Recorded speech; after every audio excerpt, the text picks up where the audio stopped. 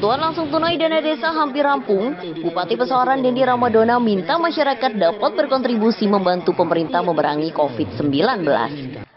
Hal itu disampaikannya saat memberikan bantuan BLT dana desa secara simbolis kepada para penerima di kantor desa Bagelen Kecamatan Gedong Tataan.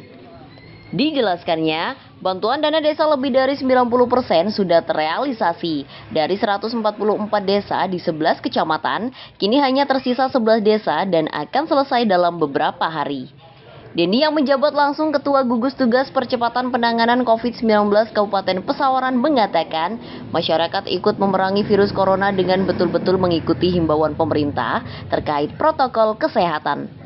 Lebih lanjut, Bupati Muda ini mengatakan, akibat wabah pandemi COVID-19, berbagai bantuan sosial yang diberikan baik itu pemerintah pusat hingga pemerintah desa diharapkan dapat membantu meringankan beban masyarakat yang terdampak. Dendi pun berharap bantuan yang didapat masyarakat agar dipergunakan dengan sebaik mungkin. Sementara itu, Kepala Desa Bagelan Merdi Permanto menjelaskan ada 155 kepala keluarga yang mendapatkan BLT dana desa. Namun demikian, dirinya mengaku masih banyak warga desa yang tidak mendapatkan bantuan karena keterbatasan kuota. Untuk mengantisipasi kecemburuan di masyarakat, pemerintah desa Bagelan pun berinisiatif mencantumkan nama-nama serta foto para penerima bantuan. Bagaimana masyarakat kita bantu di dalam situasi corona ini? Jangan sampai adanya corona masyarakat ada yang kelaparan. Itu yang kita tidak mau, yang kita tidak inginkan.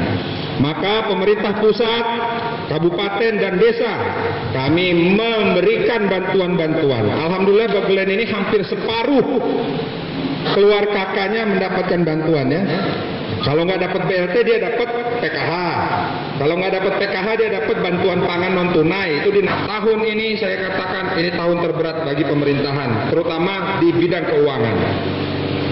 Kami alihkan program itu untuk membantu manusia. Kita ngurus manusia dulu, nanti dulu saya bilang ngurus ngurus jalan. Kita prioritaskan mengurus manusia. Nyawa manusia lebih penting, masyarakat kelaparan lebih penting. Jangan sampai kelaparan di Kabupaten Musyawarah.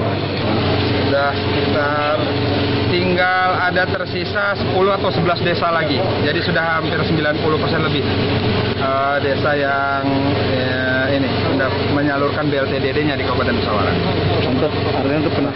Ya harapan saya tadi karena pemerintah sudah berjibaku untuk merefocusing anggaran dan mengalokasikan anggaran untuk membantu masyarakat, tentunya berharap agar anggaran ataupun uang yang diterima oleh masyarakat bisa digunakan dengan keperluan yang baik untuk kebutuhan pokok sehari-hari jangan digunakan untuk kebutuhan-kebutuhan yang tidak perlu. Ya, ya, contohnya untuk kebutuhan pokok makan sehari-hari. Itu yang akan selalu kita katakan kepada masyarakat penerima.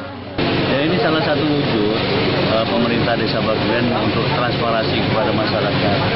Uh, sebenarnya masih banyak warga yang belum bisa mendapatkan bantuan, tapi inilah yang bukti wujud uh, kepedulian pemerintah kepada masyarakat dengan jumlah 155 yang sudah diproses secara aturan yang ada eh, kerjasama dengan BPD sebagai wakil dari masyarakat eh, dusun masing-masing untuk menyeleksi warga masyarakat yang layak untuk dapat eh, BLTDD dan alhamdulillah dari 155 ini kita kolektif foto beserta keterangannya kita lampirkan. Uh, Dari Pesawaran Kiki Darmansah melaporkan.